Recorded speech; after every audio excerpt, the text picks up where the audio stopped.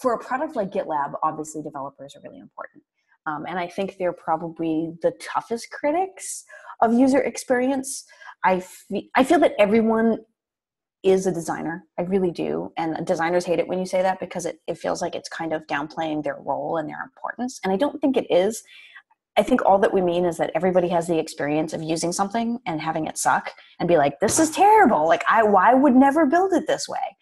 Um, and so I think that designing for developers, especially, it can be difficult because they have very, um, they're very opinionated on the way they like to work and the setup they like to have.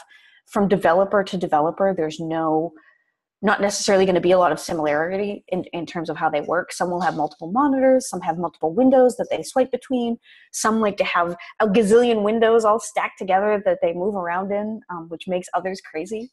And so to have a positive UX experience, I think one of the most important things you have to do is really understand that.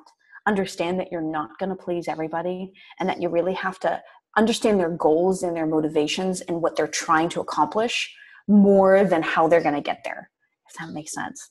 So so like understanding that they're trying to do a code review and that minimizing distractions is going to be the most important thing as long as you keep that in mind you're going to make the majority of developers happy with that type of experience versus oh but some people are going to want this and some people are going to want that. And then when you start to please try to please everyone you please no one.